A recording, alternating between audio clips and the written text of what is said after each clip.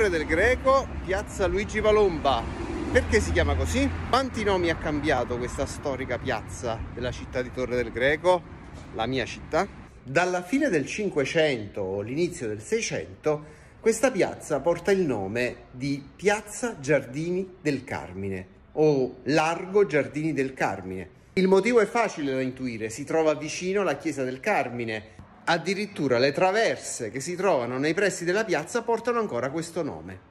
Tuttavia nel 1799, a quanto pare, proprio con la Repubblica Partenopea e quindi con l'arrivo dei francesi in Italia, la piazza cambia nome, diventa Piazza del Popolo. Passano gli anni, siamo in epoca fascista. Nel 1940 muore Italo Balbo. L'anno dopo, nel 1941, la piazza viene intitolata proprio a Italo Balbo, il gerarca fascista. Finita la guerra, l'Italia diventa una repubblica. È tempo di cambiare nome. Quindi non più intitolata a un gerarca fascista, piazza viene finalmente intitolata a Luigi Palomba. Ma chi era Luigi Palomba? Luigi Palomba era l'ultimo sindaco eletto democraticamente prima che questa carica scomparisse all'epoca del fascismo, quindi prima dell'istituzione del podestà.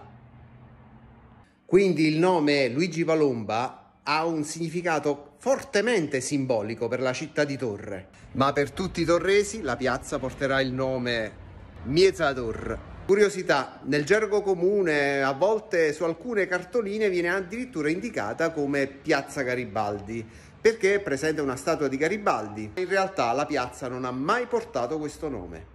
Io sono il prof Capano, lei è sempre Nerina e vi do appuntamento alla prossima pinzellacchera.